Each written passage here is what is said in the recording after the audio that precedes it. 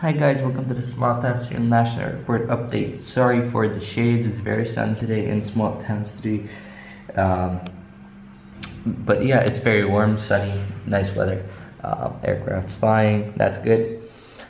Sorry for the noises outside. Uh, and if the colors on the camera bad, sorry, I changed some settings and I'm not sure if they're right, but anyways, um, let's start another, uh, yet another airport update. What a surprise.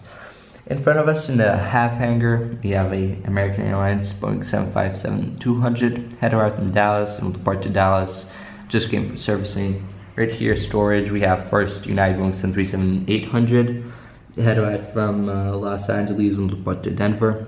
Right here, another United Boeing 737 MAX 9, head arrived from Los uh, Houston will depart to Houston. Right here, uh, we have a United Express ERJ175.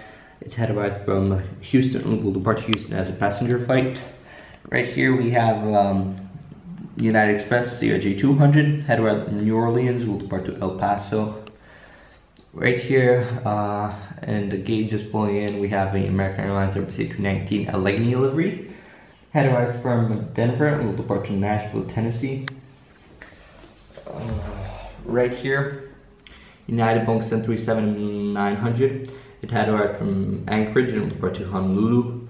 Right here is Southwest Boeing 737-700. Had arrived from Chicago O'Hare, will depart to Baltimore. Alaska Boeing 737-700. Had arrived from New York, will depart to New York.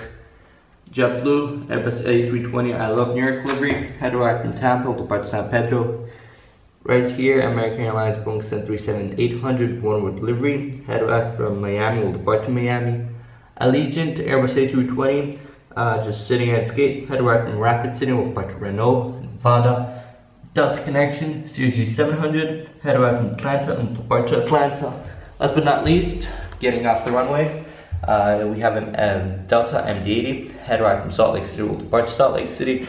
Today we have runway 27 as a arrival runway, so yeah, hope you enjoyed it and see you next time. Bye guys.